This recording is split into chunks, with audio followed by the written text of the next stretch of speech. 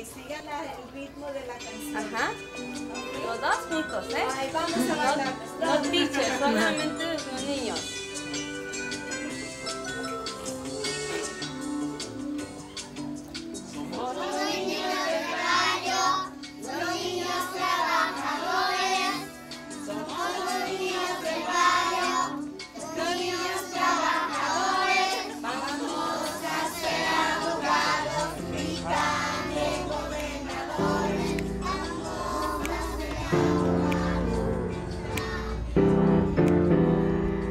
I go, I'm putting in a hundred percent. From the soles of my shoes to the top of my head, I dedicate myself to the music, no regrets. If you feel me too, Throw I was in a gang.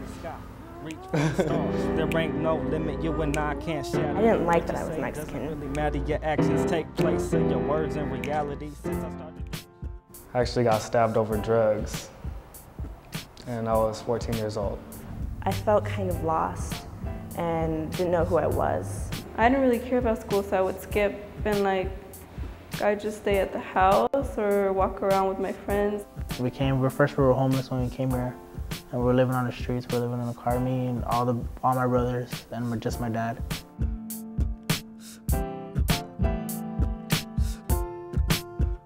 El Centro isn't only for Mexicans or Latinos, it's for everyone.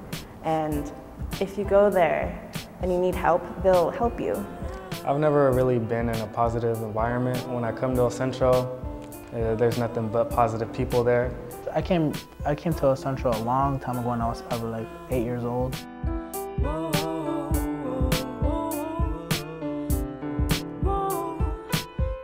I'm in the Seattle Youth Program. I went into Proyecto Saber for credit retrieval. I've been involved in Seattle Team for Youth for a long time to help me get in and out of schools. Music means everything to me. Music has always been a big part of my life. I mean, my dad would used to sing with me and play guitar when I was younger. Music was one thing that would never leave me.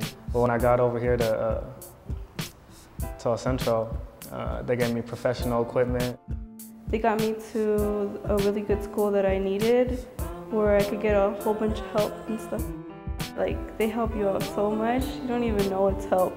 I was just going down the wrong road, and when I got to El Centro, it just gave me a place to place to go, really. El Centro, I learned the history through El Centro and I thought, wow, why would I be ashamed of my heritage? It's really amazing. I'd probably still be in high school if it wasn't for El Centro. I had no credits. I was getting ready to give up on school. I'm really grateful that they helped me out because I really think that I wouldn't have graduated. It will help a lot of teens stay in school and out of trouble. If El Centro was never part of my life, um, I probably would be dead or in jail.